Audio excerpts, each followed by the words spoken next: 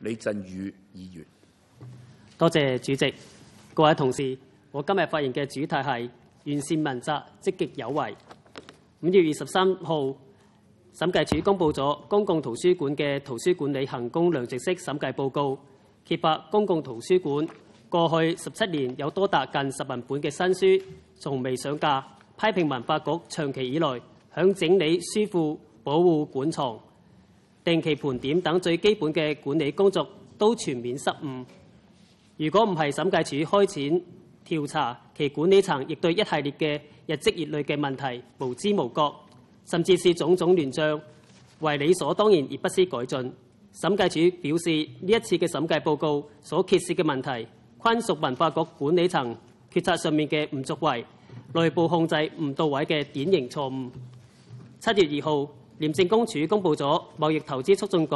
審批重大投資移民同埋技術移民嘅調查報告，指出貿促局響審批重大投資移民同埋技術移民方面申請嘅過程當中，存在審批程序唔嚴謹、查機制唔健全等問題，導致咗出現申請人透過虛假聘用取得臨時居留許可嘅情況。認為相關政策響某種程度上面嚴重偏離咗促進澳門經濟同埋社會發展嘅立法嘅原意。報告顯示部分個案既唔尋常，社會懷疑貿出局人員或存在失職、失當甚至違法嘅情況。為官不為係政府部門必須重點整治嘅行政慢性病，既拖累政府施政嘅效能，又影響政策執行力嘅提升。輕者造成公共資源嘅浪費，重者積澱民怨致社會不滿氣氛彌漫，更甚者制約同埋窒礙社會經濟進步發展。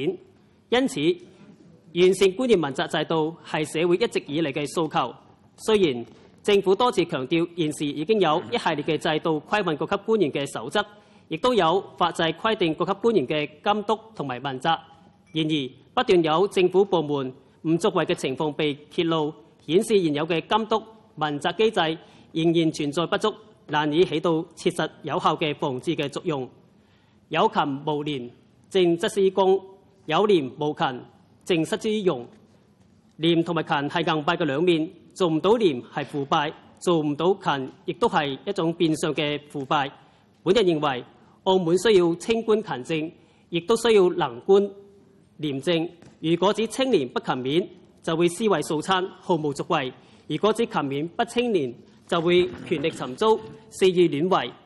廉政公署一七年嘅工作報告指出，本澳部分公共部門領導依法行政嘅意識尚待加強，科學決策嘅能力尚待提高。建議政府檢討公職人員紀律處分嘅法律嘅規定，及早咁完善領導及主管人員嘅問責制度，真正咁做到有權必有責。政府響一八年嘅施政報告中，亦都係指出，法制建設仍然係政府施政嘅短板，需要透過嚴格落實部門領導問責等手段予以解決。表示將檢討官員問責制。健全問責嘅配套嘅制度，本人希望政府積極落實施政嘅承諾，全面檢討同埋細化問責制，設立明確嘅時間表，並適時向社會公佈檢討嘅結果，以建立更廉潔高效嘅行政體系。多謝。